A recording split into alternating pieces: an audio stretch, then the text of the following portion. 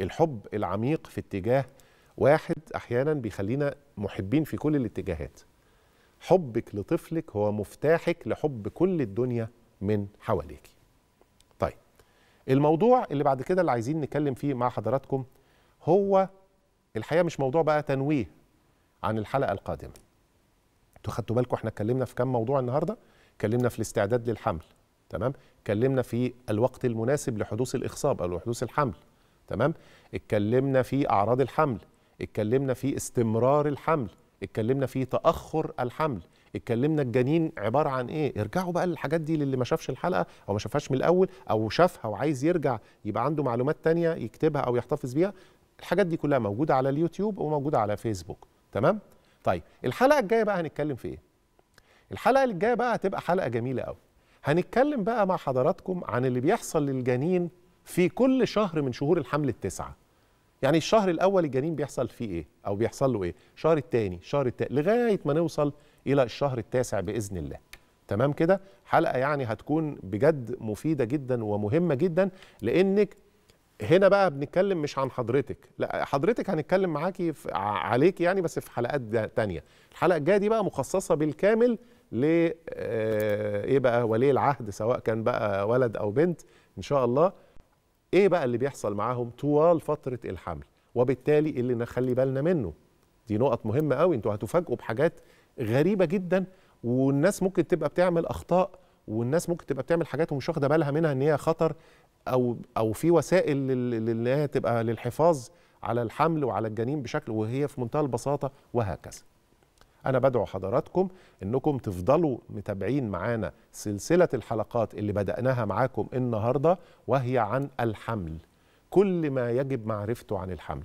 وعلى فكرة إحنا اتكلمنا أهو في الحلقة النهارده عن موضوعات كتير. الحلقة الجاية هنتكلم عن زي ما قلنا شهور الحمل التسعة يا رب بإذن الله بس الحلقة تكفي إن شاء الله يعني إن شاء الله هتكفي تمام هتلاقونا بعد كده بقى في حلقات بعد كده هنقول لكم اختبار الحمل ده صحيح ولا ولا نتائجه مش مش دقيقة؟ تمام؟ هنعرف تاني برضو حاجات تانية. يعني هنعرف مثلا حاجات إيه بقى علاقة الأدوية بالحمل؟ يعني الحمل في الأدوية ده هيبقى ممكن ناخد أدوية وإحنا يعني وانت حامل ولا ممنوع خالص كل الأدوية؟ هنعرف حاجات عن ال ال الرابطة مع الجنين إزاي إنك ممكن تزودي الرابطة وهكذا. هنعرف حاجات كتيرة قوي قوي إن شاء الله إن شاء الله إن شاء الله هتكونوا مستمتعين بيها. وعايز أقول بس لحضراتكم حاجة مهمة جدا. يعني قبل ما أختم الحلقة النهارده. الحاجة المهمة دي هي إنه في ناس ممكن تفكر في الحمل إنه مسؤولية كبيرة جدا. وهو مسؤولية مش كبيرة مسؤولية جسيمة. مسؤولية جسيمة. شوفوا إحنا استخدمت اللفظ يعني اللي هو يعني يا رب يكون قد الحدث. لكن خلوا عندكم قناعة. أنا هنا بكلم بقى البنات. إن شاء الله اللي هيبقوا زوجات بعد كده أو الزوجات اللي في بداية يعني حياتهم الزوجية أو حتى اللي هم بدأوا لسه ما أنجبوش أطفال أو يعني أنجبوا طفل واحد وبيفكروا. وطبعا ما تزود ما نزودش بقى عن اثنين يعني. تمام؟ ربنا سبحانه وتعالى اختارك لهذه المهمة الجسيمة. وربنا من أسمائه وصفاته إنه الرحمن الرحيم. فربنا سبحانه وتعالى لما يختارك فهو عارف قدراتك. عارف كويس قوي إن أنت تقدري على إنجاز هذه المهمة بكل نجاح.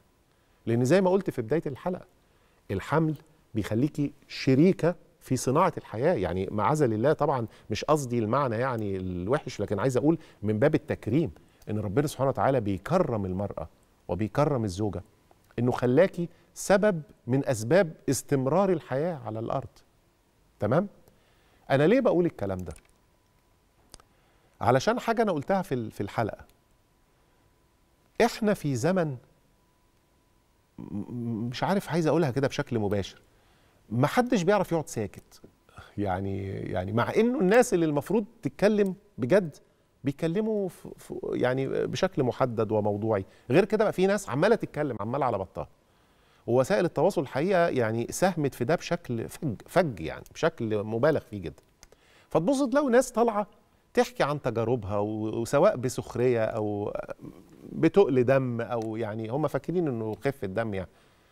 هم مش مدركين إن الكلام اللي هم بيقولوه ده ممكن يبعث برسائل سلبية جدا لبنات وزوجات لسه في بداية حياتهم أو بيخططوا لحياتهم فيبتدوا يتعاملوا مع الحياة دي على إنها شيء مخيف الحياة الزوجية يعني وإن الحمل ده شيء آه، يعني مرعب وإنه آه، هبقى حامل إزاي وهروح وأجي إزاي وهنام إزاي وهصحى إزاي واللي تقول لك أنا ما بقتش طايقة جوزي وأنا حامل واللي بتاع كل ده كلام فاضي وأنا بكرر أهو كلام ثقيل الدم كمان. إنما الكلام العلمي والكلام الموضوعي اسمعي بقى الكلام من والدتك واسمعي الكلام من إخواتك الكبار واسمعي الكلام من من أصدقائك اللي مروا بالتجربة. هيقولوا لك الحمل والولادة أصعب حاجة في الدنيا لكنها أحلى حاجة في الدنيا وأجمل حاجة في الدنيا. وكل التعب اللي انت بتمري بيه ده هتلاقيه بعد كده هتتعودي عليه وهو وقت وخلاص وهيعدي. وبعد كده الحياة راحة؟ لا. الحياة إرهاق ومسؤولية تانية. مسؤولية بقى ال- ال- الجنين بقى اللي اتولد ده بقى بقى موجود بقى لحم ودم. هنخلي بالنا منه إزاي. ودي سنة الحياة.